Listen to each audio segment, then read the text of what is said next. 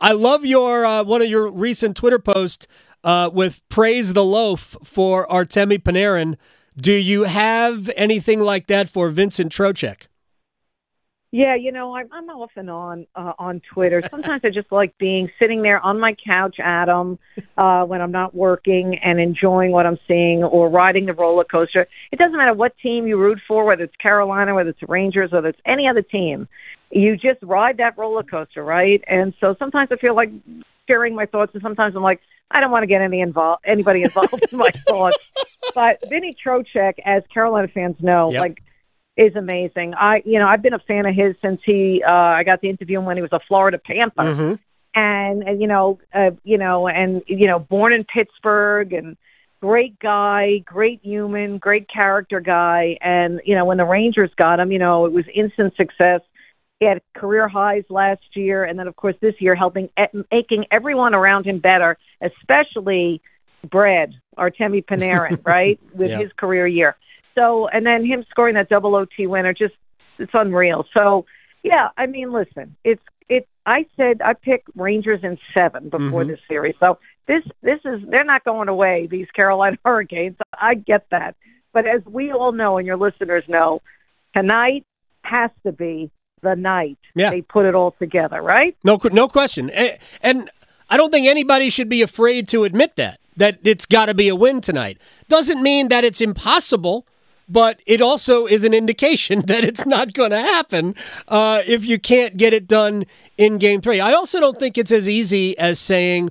Well, because uh, this is what I get, and I'm too active on Twitter during games, and I get involved in conversations. Um, because you know this is part of what I do. I feel like I tweet yes, during you a game. have to do Right. that. So- You're a talk show host. You're on the radio. it's important for you to interact regularly. Go ahead, Exactly, and I try not to let it distract me during the game. Uh, but it it's it's it's too easy to say you have to stay out of the penalty box. You're not Right. going to. So No. what you have to do is you have to do what the Rangers have done. Is you have to kill them off.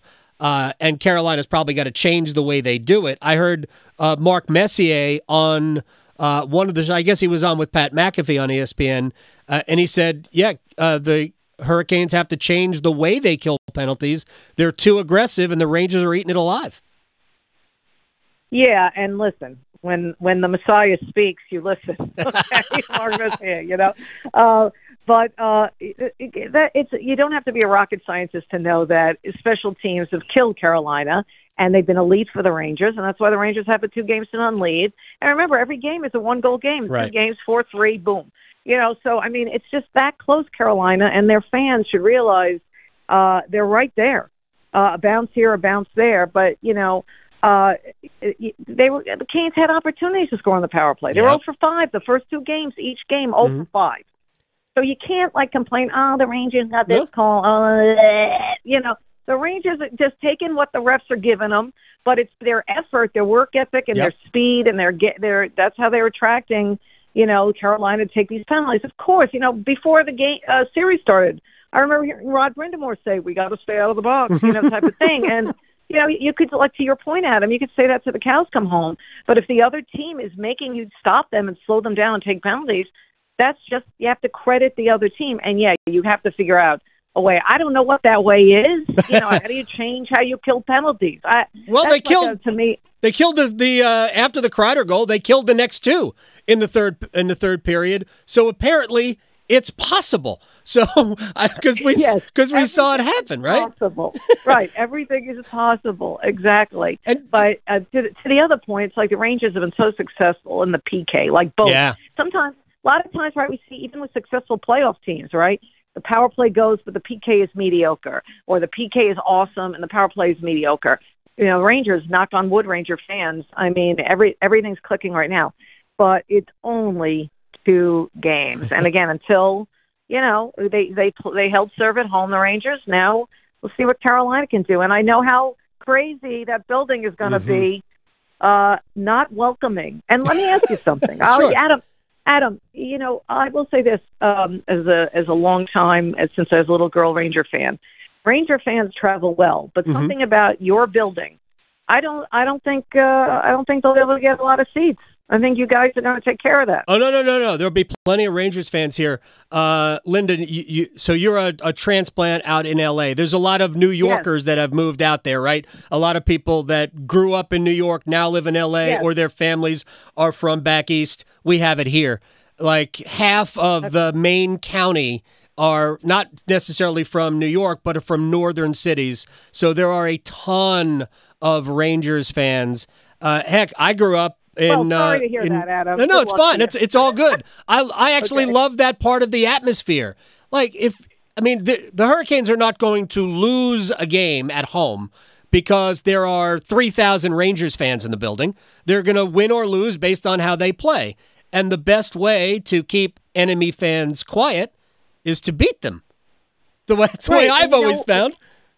Yeah, that's a good way. Nice spin by you, Adam. Well done. Thank you. Uh, but I just look at it the other way. Like the Rangers, the players actually hear the Ranger contingent in the uh-huh. crowd. They really do, and they've said that. But also, you know, the Florida Panthers deal with this for years and years and sure. years. It's getting better in Florida. You know, there's more Panthers fans that have come out. Of course, kudos to the them making a run last year to the Cup final, and that really helped. You know, boost the fan base back for the Panthers. But um, you know, I get it. Teams teams like the Hurricanes, teams like the Panthers, other teams, uh, you know, they're used to that. They're used to like the Bruins fans, the Ranger fans, all this kind of stuff.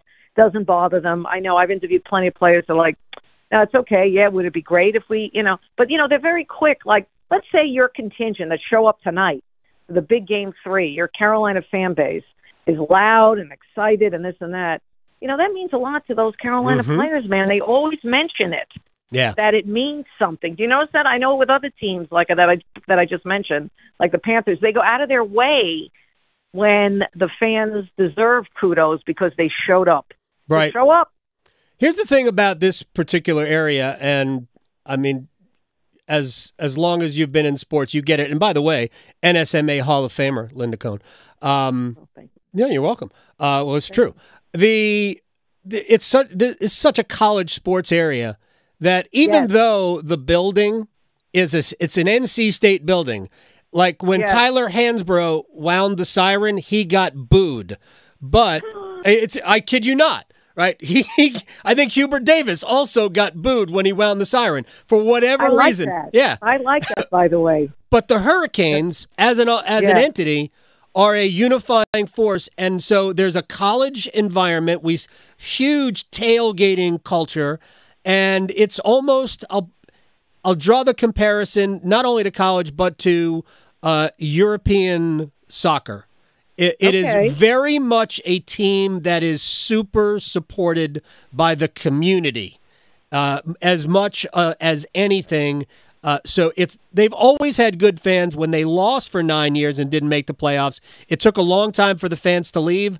They came back right away. There wasn't the normal lag. that you need like a year or a year and a half for people to buy in? By the really the last couple of months of the season, the Hurricanes were selling out and they sold out every playoff game that first year. Uh, so the fan base is here. That's good. Good to hear. Yeah. But all right, we'll see how many Ranger fans do show up and get oh, in the door and buy tickets. We'll there, see. there will be thousands because again, they all live here. The, yes. the, these are not people who.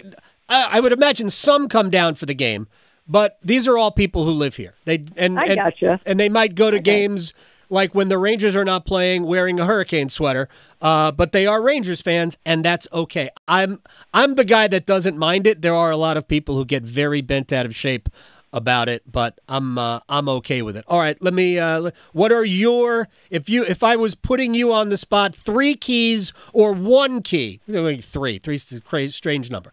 Uh, give me one key for the Rangers tonight. Well, keep the foot on the pedal is to me. I mean, as you know, you know, you could say yes, that's going to happen.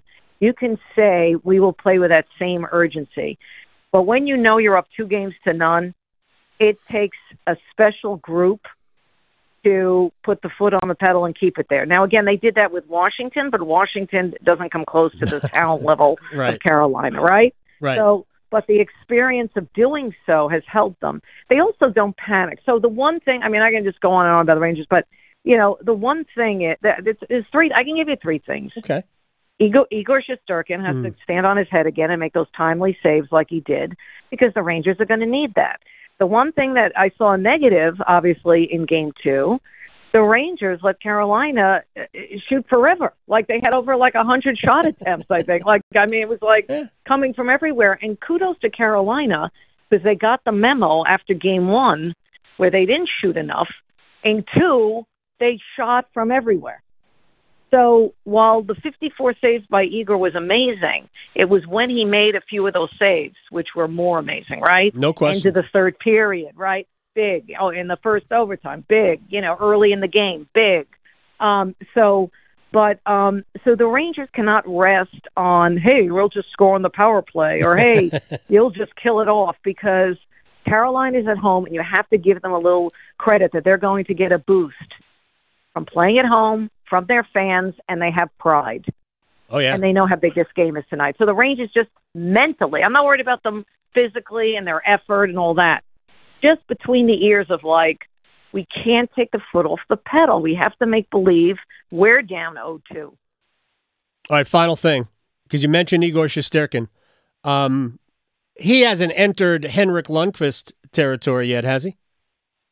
Well, he has entered like like Mike Richter, uh, you know, which is you know Mike Richter, Stanley Whoa. Cup champ. You know, I mean, the things that he has done, uh, 29 straight games. I I think that's Tremendous. I Yeah. don't, I don't know who he's at, but 29 straight games of uh, less than you know f- you know fewer than four goals, like something like streak or something. And I think he's in upper echelon of he's with Mike Richter of winning the first six games of a post of the post a single postseason, um, stuff like that. But listen, Henrik Lundqvist is the king, right? Yes. he got the Rangers to a Stanley Cup final in 2014. Sadly, uh, they fell to the Kings in five games, but he carried that team. Yeah. This team is better. This team is so much better than that team and deeper and highly skilled, more skilled players than the team in 2014 that shocked the world and uh, because went to the final because of Lundqvist. So Igor Shesterkin is a big part of this team. He's not the whole team. And by the way, I have total faith in Jonathan Quick hanging out Yeah. on the bench as a backup because somewhere, somehow, if it's not this series, it's going to be one of these series for the Rangers down the road in this single postseason where we're going to see a Jonathan Quick somewhere.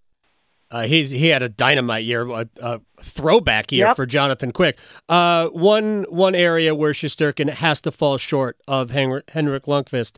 No way he looks as good in a three piece suit. Uh, and I'll Oh just my God! uh, I mean, let's leave it face at that. it. Anywhere. I mean, three piece suit. We haven't seen him in other looks, but we can only imagine he he he, he uh, reigns supreme as a king would. Uh, yeah, but uh, I don't think Igor Shesterkin uh, knows it's not. He doesn't care about any beauty contests. He cares about stopping the puck, and it's just and be the glue for this team and have the puck stick to him. He's been great. And uh, by the way, we'll see uh, Shesterkin versus another Russian goalie. Pyotr Kochetkov's going to get the start tonight for oh, for so Carolina.